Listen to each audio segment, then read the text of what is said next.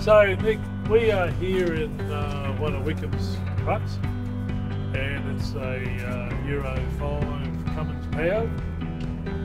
So, it has the technology of EGR and also SCR, so it's got the AdBlue So, you'll probably find, you know, with the new technology, the increase in temperature as we go up the range, so the, the fans will come on, so you'll feel that. So, you get a, a bit of a feel for it.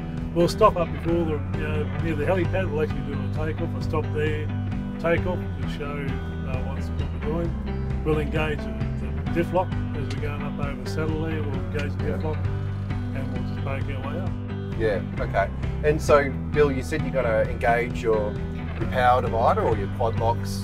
Yeah, so we're going. truck? Yeah, so we're going to engage our diff lock. So once we get up over the saddle there, we'll, know, while we're on the move, we'll Yep. actually engage our, our power divider, which is our diff lock. So it locks the two differentials together. So one axle is driving on the front, one axle is driving on the back. So Yep, it's yeah, it's basically two wheel drive. Yep.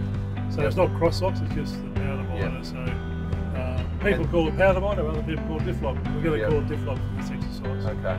So Cunningham's Gap is, has some very steep grades, doesn't it? In fact, it's Yeah, it it's uh, actually steeper than the old Toowoomba second range crossing It's actually steeper parts. from the range. Yeah. So when you when we go near the top there, you'll find that we'll actually um, go down a gear before we actually hit that last crest. Yep. So Yep. yeah, it's actually steeper. So it does get up around that, you know, 14 percent, that, that very last peak where Yep. a lot of transport guys have a bit of trouble there. Yep. But Yep. you know, the key thing is to be prepared before you get there. So you know, change down gears before you get there. Um, know, having the diff locks in, divider, yeah, or your diff locks. and keeping your high RPM, so using the horsepower rather than Yeah. the lug, you know, Yeah. so you're not changing gears halfway up the Yeah. that last pinch. So when we talk about diff locks, we're talking a power divider. Is it rather Yeah. than locking the two wheels, it'd be a power divide, Yeah, so rear, rear axle. exactly. So yeah, Axles, lo- locks sorry. the locks the two centers up. So you, you know, you're, you're not cross locking. You're not doing the um, air lockers as such. You're Yep. just doing the power divider. So Yep. Yeah, so locking the two diff centers up so they work together.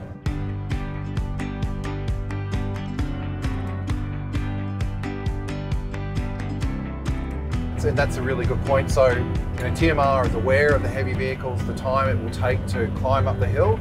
Um, we know that it's a very some some heavy vehicles will have to crawl up the hill. That's a slow process. So, um, we'll, we'll be allowing enough time for that cycling effect for the for the truck to crawl up the hill safely and Yeah. reach the top. So we don't need people to rush. We don't need them No. to force their way up gears. They can pick a low gear and just safely climb up the hill, and there will be enough time for them to get to the top before either the traffic signals or the traffic controller releases traffic on the um, the top of the mountain.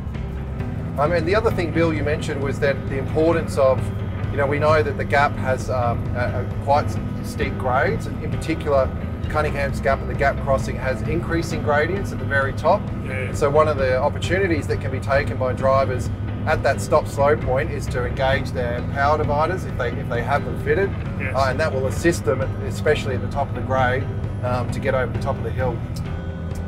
Okay, so we've, we've, we've now commenced our hill climb. We've got a nice straight section Yeah. of, of road, but quite flat actually, uh, before we commence the last um, roughly three and a half kilometres of hill climb up to, to the uh, Allan Cunningham Yeah. Monument.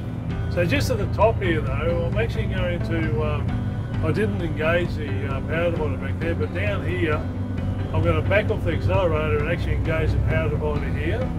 Okay. So this is the important part what most guys should be trying to do to eliminate that slip up the top, especially in wet weather. So I'm going to engage the power divider. So I'm going to take the foot off the accelerator, power divider is now on, ease back on the accelerator, and now I have two-wheel drive all the way at the top. Right, so we're in a flat section, actually a little Yep. tiny little bit of a downhill Yep. there.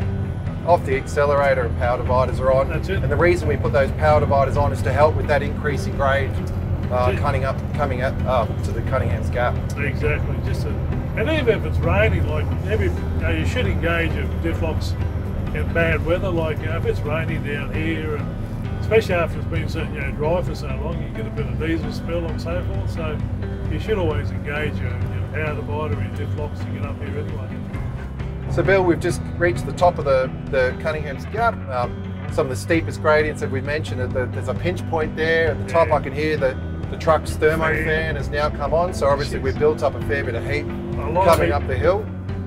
I'm just going to uh, take off the power divider now, so we just turn the power divider off, take the foot accelerator, power divider's off, and reapply the accelerator, and now we're good to go. So we'll start climbing up to the gears, and we're letting the kinetic weight of the vehicle push it down, so we're you know, we're not generating any heat now, so the vehicle's in, oh, thank God, I'm at the top of the hill now, I'm going to start cooling down. So, you know, the temperature will start coming down, so cooling's already starting to come down, it's around 100 gearbox is absolutely quite fine. Um, but yeah, the So other side of the hill, just let the weight push it down. Excellent. And so, the- I mean, if the truck's able to, that's a great way to cool the engine in. Is to, you've got a downslope now. You just Yeah. roll down the hill.